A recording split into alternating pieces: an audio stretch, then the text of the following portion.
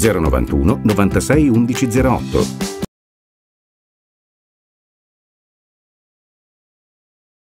Buonasera a tutti, oggi in studio con me Antonio Dianni, medico e presidente del centro studi Cestes.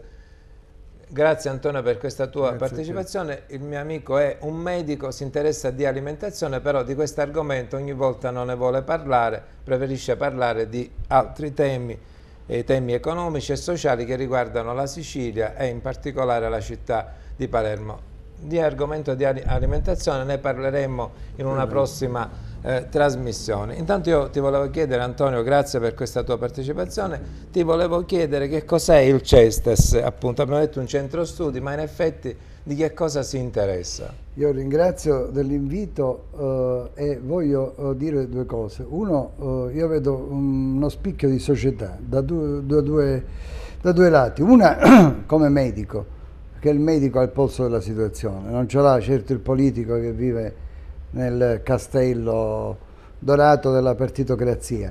Il centro studi si occupa proprio di, di, di, vedere sul territorio che cosa è la storia, quali sono i, i bisogni sociali. E siamo un gruppo, oh, non tutti medici, anche di assistenti sociali, psicologi, diciamo, che, vediamo, varie professionalità che ci occupiamo di storia, di recupero dell'ambiente, ci occupiamo eh, di, che, di che cosa ha bisogno oggi il cittadino, perché molti non si rendono conto che siamo in miseria, siamo caduti per colpa di leggi, leggine e tutte queste diciamo cose. della burocrazia nostri, della burocrazia, esatto, ma anche della partitocrazia perché loro non hanno fatto altro che creare disoccupazione per avere nella voto. sanità tutti lamenti spesso che la ci sono parecchie una... cose che non vanno. Ma l'approfondiremo. Io sì. prima ti volevo chiedere una cosa, tu in quest'ultimo periodo diciamo, assun hai assunto un atteggiamento molto critico appunto nei confronti della politica, ne stavi iniziando a parlare, però secondo te le cose peggiorano sempre più. Cioè, che giudizio possiamo dare noi così spassionatamente, Ma sia io, sul governo Renzi, sul governo Crocetta? Io no, poi... no, non, non, parlo del singolo governo, parlo di, di una cosa d'insieme. Di un sistema che non Perché non noi, non inutile, noi abbiamo avuto sempre come...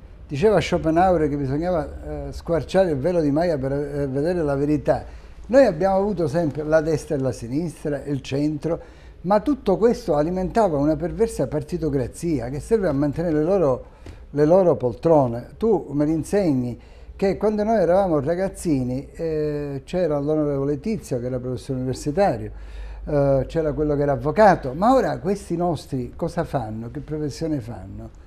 Cioè, non voglio fare vabbè, il nome. Dico, no, la democrazia deve essere rappresentativa, per carità, per carità. però dico, si, si, arriva a non guardare gli interessi. Esempio pratico. Se io faccio società con te per un negozio, per un'attività varia, lo facciamo negli interessi reciproci.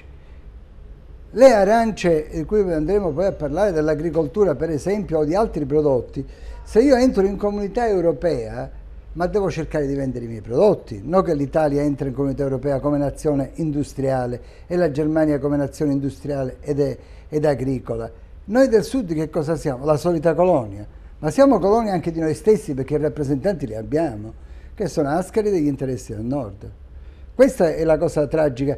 Perché oggi leggo nei giornali che la comunità europea vuole togliere il, il dazio, diciamolo così, all'importazione dal Marocco di, di, di arance? Ah, lì c'è la manodopera inferiore. Allora che cosa dobbiamo fare?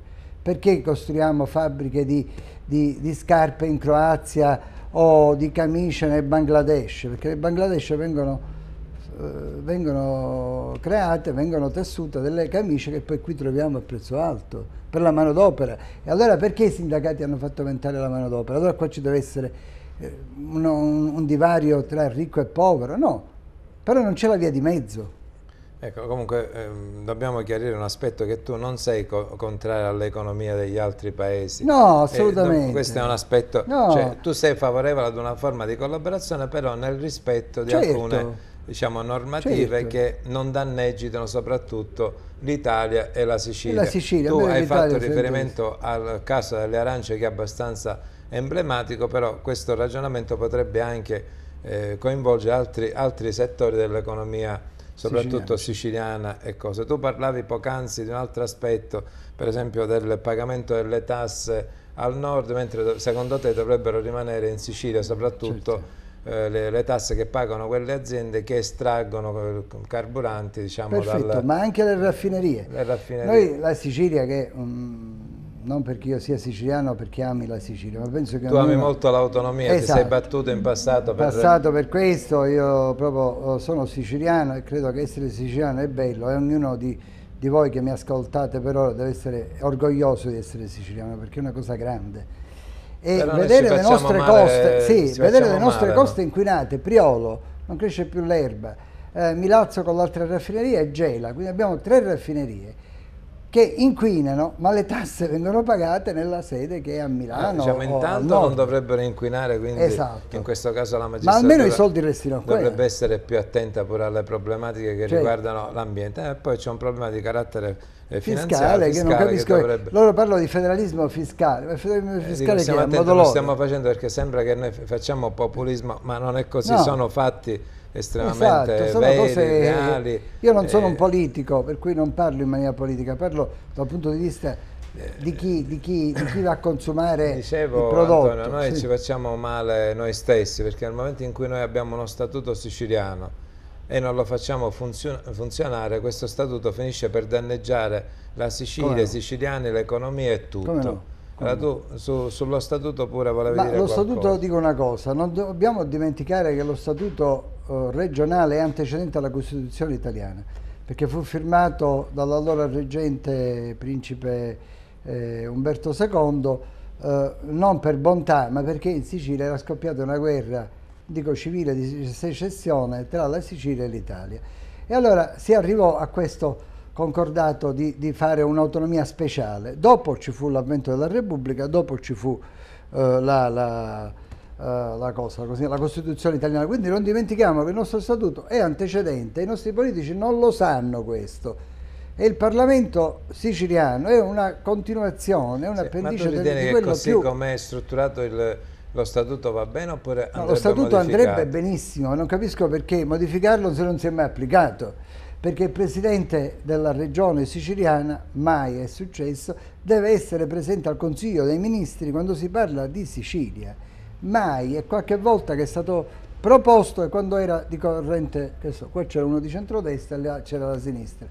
Ma non c'è stato mai questo.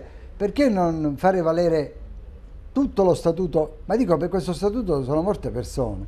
C'è stata una guerra, c'è stata gente che credeva e ora questi politici che che se lo stanno profanando in tutti i sensi. Come attuare lo statuto? Però questo statuto ha consentito anche una serie di privilegi ai Bravo. vari deputati e quindi con grande danno anche per certo, appunto certo, le casse. Certo, perché non fu, eh, non fu, creato per questo motivo, non fu creato per questo motivo.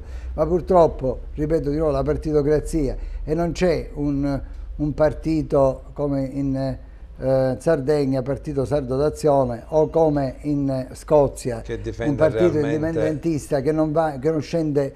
Eh, noi abbiamo avuto partiti sicilianisti, ma che poi eh, una volta eletti passavano alla democrazia cristiana, al Partito Socialista e ad altre cose. Questo, quindi non abbiamo mai avuto una vera identità cioè, tu dici che dovrebbe esistere un, un, partito di forte ispirazione autonomista sì. sicilianista. Io non dico separatista, a, no, a, forte... a, a garanzia degli esatto, interessi dei esatto, siciliani. Esatto. Però insomma tutti i partiti dovrebbero garantire eh, diciamo, alla Sicilia condizioni appunto di sicurezza, di sviluppo, di crescita. Completamente. Dico, questo purtroppo poi... Il turismo, noi siamo una nazione... Allora, eh, una piccola parentesi. L'Italia ha il 90% dei beni culturali al mondo, credo, sbaglierò di un 10%. La sola Sicilia, no il 70, scusa, ho sbagliato, il 70. La sola Sicilia ne ha il 35%, ma perché non valorizzare? Quando la gente viene, eh, va a Piazza Armerina e vede quella bellissima villa romana, resta sbalordita, ma ci va, è un mordi e fuggi, perché non c'è stata una politica per valorizzare gli altri luoghi. Là vicino c'è la famosa Erbesos, Montagne di Marzo, che è un'antica città greca, grandissima, ma è scavata. Eh, ci vanno i tombaroli, la polizia che li, che li caccia, cerca di catturarli, ma non c'è stato mai un impegno. Allora io dico una cosa, non abbiamo i soldi per poterlo fare, però abbiamo i soldi per poter pagare i PIP, i PUP, là, tutte queste cose socialmente utili, a 700 euro, per cui il lavoratore che lavora con i PIP o che altre cose che guadagna 700 euro non può vivere, è costretto a fare altri lavori. Allora si faccia uno sforzo, si assumino a contratto e si mandino in queste zone. Senti, il lunedì. Tu um, sei stato ospite di questa trasmissione assieme all'architetto Rodo sì. Santoro. In una di queste occasioni abbiamo parlato eh, del castello a mare. Sì Ebbene, eh, ricordo che l'architetto Rodo Santoro aveva detto che eh, probabilmente ci saranno ancora degli scavi da realizzare perché potrebbero emergere altri resti diciamo, del vecchio baluardo della città. Ebbene, ora nel Castellammare si continuano a fare concerti, ora c'è la festa di rifondazione comunista, disconoscendo quanto detto dal, dall'architetto Rodo Santoro. Secondo te è corretto che avvenga tutto questo oppure noi siamo dei, siamo, dire, dei sognatori e pensiamo che questa zona dovrebbe essere interdetta a qualsiasi forma di spettacolo, di accesso, se non quello appunto Turisti. consentito dalla legge che valorizzi soprattutto questi beni archeologici? No, noi non siamo dei sognatori, se io sono qua in tv non solo per fare vedere la mia faccia, che la gente non ci frega niente, ma per dire proprio questo, se una persona la pensa in una maniera, due persone, tre persone, poi diventeranno 10.000, 100.000, un milione, quindi bisogna sensibilizzare la gente che la festa sì è bella, ma si faccia nelle altre piazze, si faccia al Foro Italico, uh, si faccia dove vogliono, ma non in un sito archeologico che bene o male viene deturpato. E quindi Castello a Mare, come dicevi giustamente tu, ci sono cose ancora da scavare, da vedere. E allora si creano delle squadre di persone guidate da dirigenti regionali, ma dico, non so se molte, eh, molti degli ascoltatori nostri eh, sono andati al centro della Sicilia, nei Nebrodi, bellissimo, ma per raggiungere per esempio Capizzi, eh, città dei Nebrodi, Cosperlinga, dove c'è un castello fenomenale scavato nella roccia, è impossibile, con strade eh, franate, cose distrutte, dati lavori eh, così veramente eh, a casaccio con chi offre di meno ci vogliono 100.000 euro, 30.000, vinco l'asta e, e cade. Però dico, tu fa ti ho fatto una domanda cosa ne pensi del governo Renzi e del governo Crocetta, allora tu mi hai risposto, dici, ma non è un problema di nome, è la politica, però... La politica, la politica è sbagliata. Però sbagliata. Dico, poi la politica certo, viene portata avanti certo. dalle persone. Allora, no, se, non piace, se non c'è una forte azione di recupero eh, appunto dei beni certo. architettonici, dei beni monumentali, è eh, fallimentare. Eh, chiaramente è fallimentare perché la portano avanti le persone. L'indirizzo che deve dare Crocetta, per esempio sul turismo, eh, quindi collegato soprattutto ai beni architettonici e monumentali, deve essere di un certo tipo. Certo. Se non dà questo indirizzo sbaglia la politica, ma avrà sbagliato sicuramente anche chi questa politica deve portare avanti. Senza dubbio, a me infatti ho detto non mi interessano perché io non li approvo, per niente, non, perché non, per me No, no, io sono cioè, a me non interessa attaccare No, no, io non attacco nessuno, ma non... io sono favorevole a qualunque presidente della regione siciliana faccia qualche cosa di utile per rilanciare il nostro turismo noi abbiamo uh, delle opere meravigliose. L'assessore al, uh, al, turismo ha dichiarato che non ha completamente fondi per poter Però i fondi per pagare altre cose l'hanno. Per fare tagli alla sanità e la gente non ha più come curarsi ce ecco, l'hanno. Parliamo della sanità che è l'argomento che tu indubbiamente conosci molto meglio degli altri per carità senza eh, nulla no, togliere alla tua cultura ma è un settore dove tu lavori e che vivi sì. eh, giornalmente in tutte le sue sfaccettature. E io vedo che la gente... E noi andiamo avanti con tagli... Tagli in continuazione, continuazione, tagli all'untore, lo specialista esterno, io non sono specialista esterno convenzionato, non mi interessa, ma è il perverso che, che ruba i soldi, se li faccio dentro l'astre.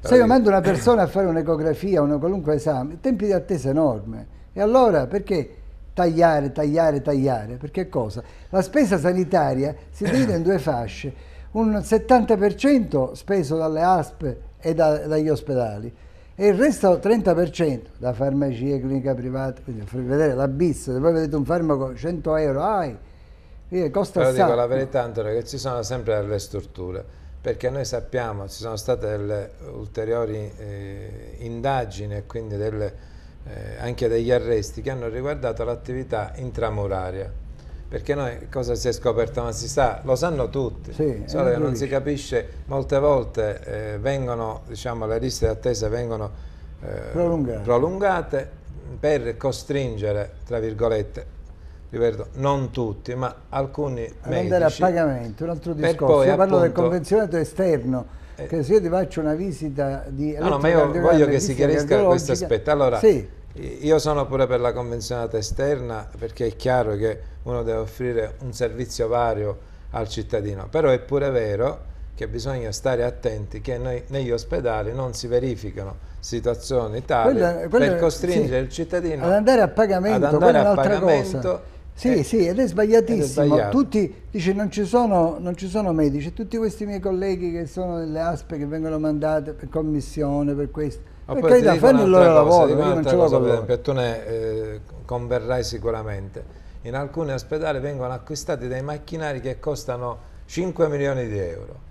Se noi poi facciamo un raffronto sul costo-beneficio, ci accorgiamo che quel macchinario che alcune volte viene dato, viene preso in comodato d'uso, mai riuscirà a pagarsi, no. perché non vengono poi effettuate tutti gli esami oppure le operazioni per consentire che ci sia un beneficio dal costo che si è dovuto Ultimamente affrontare. non lo so perché non sono Questo più al sembra... policlinico né in ospedale, ma quando ero un ragazzo queste cose succedevano ad Aiosa. No, ma ho fatto notizia del macchinario di Villa sì. Sofia, Compratemi l'abbiamo letto su, sì. sui giornali e in altri posti sappiamo, anche in altri ospedali, ci sono macchinari acquistati e non eh, assolutamente utilizzati, ancora impacchettati. Cioè, è chiaro che la sanità ha difficoltà ad andare avanti perché eh, costa molto però è pure vero che ancora non c'è una razionalizzazione della spesa ma che si snellisca la burocrazia danneggia... della sanità questo è il danno maggiore quanti, quanti, impiegati ci sono? li vuoi licenziare? no, li voglio fare lavorare in altra maniera come. Io voglio ecco, sui laboratori di analisi c'era questa vecchia sì, sì, sì. Vicenda se ne parliamo mi sembra opportuno perché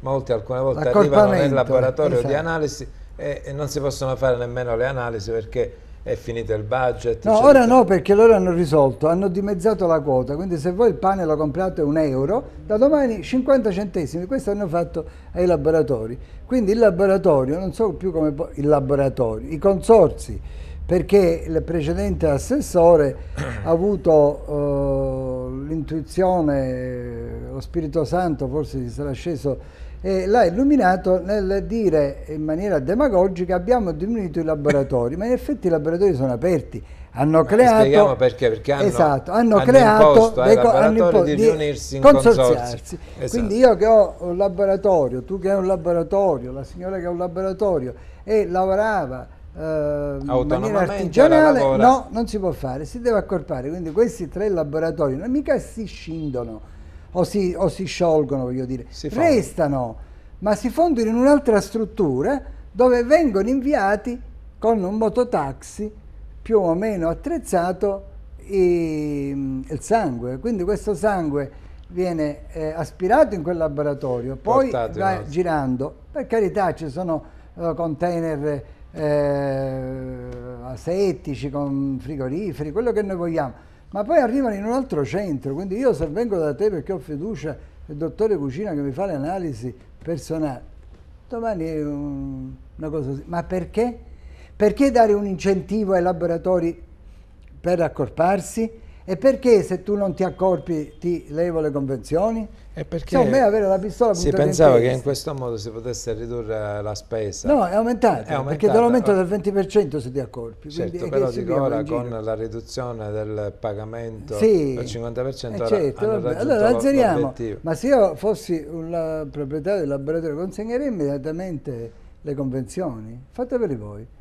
Vediamo chi li fa. C'è stato uno sciopero, era in ginocchio completo, la colpa era dei cattivi laboratori che hanno fatto lo sciopero. Insomma, Senta, all'inizio abbiamo iniziato a parlare di questo stato di insomma, povertà crescente che Triste. sta caratterizzando le città perché con l'imposizione di nuove tasse è chiaro che il cittadino viene messo con le spalle al muro. Pure Biagio Conte è stato costretto, costretto a, almeno per il momento, speriamo che torni, ad abbandonare l'attività eh, diciamo, molto caritatevole e sociale che aveva svolto per Senza tanti dubbio. anni nella città eh, di Palermo.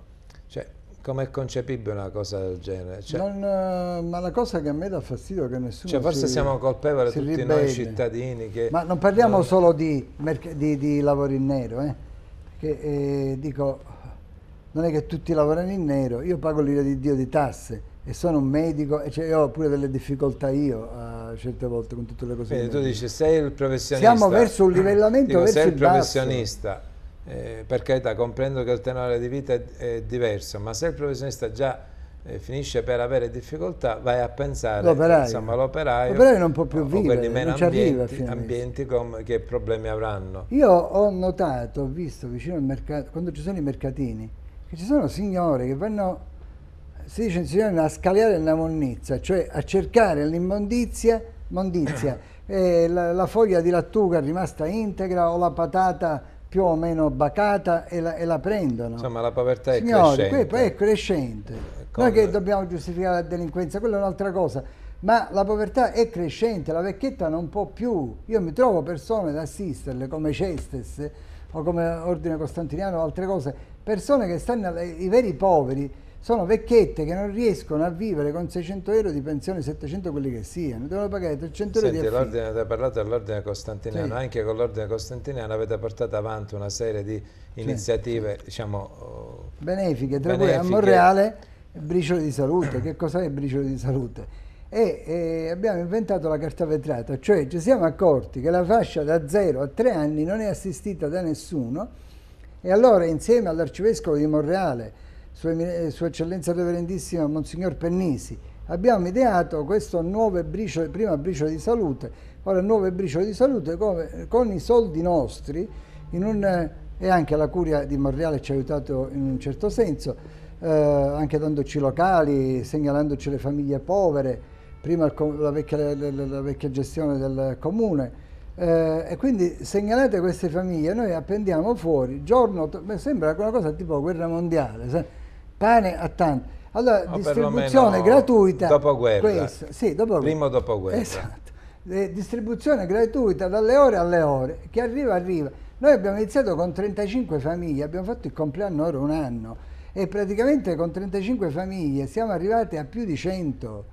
È venuto l'altra volta, infatti l'altra volta la, eh, visto ci dovemmo portare il Presidente della Regione qua a fargli vedere qual è la situazione. Voglio essere un pochettino critico nei confronti della Curia, perché almeno la Curia di Monreale si è dimostrata sensibile. Per carità, la Curia di Palermo non dico che non è sensibile, però secondo me la Chiesa, anche per esempio abbiamo affrontato l'argomento dei senza tetto, potrebbe essere un pochettino più aperta e concedere, se è possibile, eh, alcuni locali proprio per i senza tetto, perché è un modo per aiutare ma infatti poi, al di là se io, poi queste eh, persone hanno i requisiti lavoro, per sì, ottenerli sì, o meno. Questo... Io lavoro moltissimo uh, a Monreale perché naturalmente la curia è più piccola, anche se grande come territorio, anche con Palermo. A Palermo noi abbiamo aiutato diverse chiese. Eh, il, San Francesco, San di, Paola, Francesco di Paola, ma uh, anche um, una chiesa meravigliosa nel centro storico senza, senza fedeli perché sono tutti là islamici che la chiesa il cui parroco è eh, Monsignor eh, Grimaldi, Salvatore Grimaldi, con eh, medicinali, campioni, un'assistenza che lui tramite delle monache che sono a Piazza Bellini distribuiscono a tutti, a comunitari ed extracomunitari, perché non ci illudiamo che ci sono solo gli extracomunitari.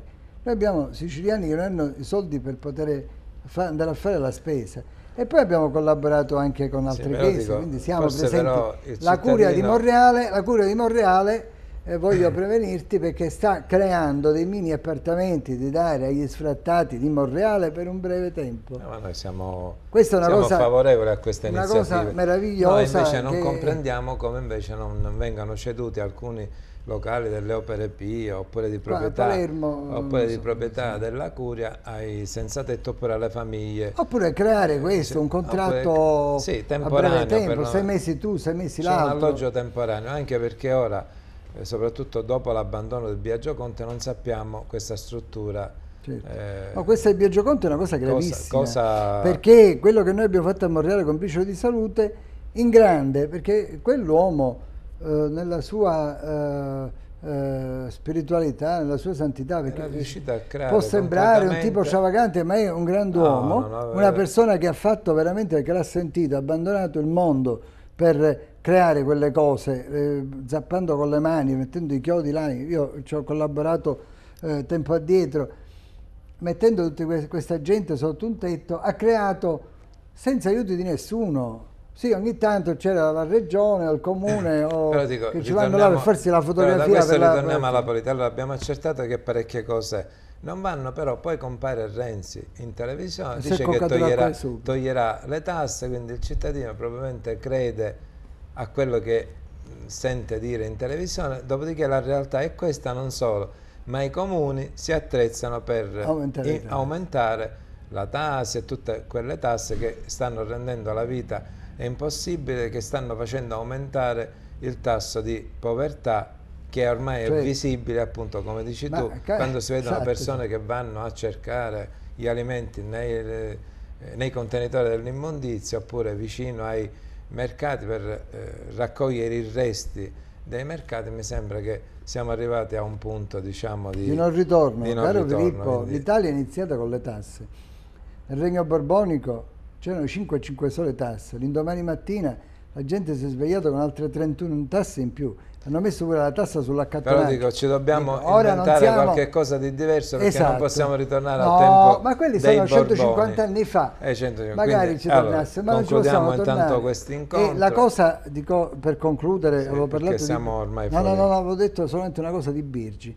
Noi abbiamo un aeroporto in una provincia e nessuno pensa che questo aeroporto potrebbe portare migliaia di turisti, perché la provincia di Trapani è quella che ha l'isola dello Stagnone, l'isola Egadi, eh, se gesta no, e una politica complessiva perché aeroporti ormai ne abbiamo troppi in no, no, no, ma dico, dico ogni provincia, quando c'erano le province, non ti disse un consigliere... non è che può, ogni provincia può avere un aeroporto, però no, dico, ma quello ce l'ha. fare una, una politica, politica per portare, per portare infatti appunto, questo dico tu c'è l'aeroporto e ci dobbiamo fermare Antonio. Bene, ci, ci, rivedremo poi a parlare di alimentazione perché inizieremo un ciclo di trasmissione sulla medicina ritorneremo a parlare di medicina e quindi parleremo di alimentazione. Io intanto ti ringrazio per no, questa partecipazione. Grazie ai telespettatori. E buonasera a tutti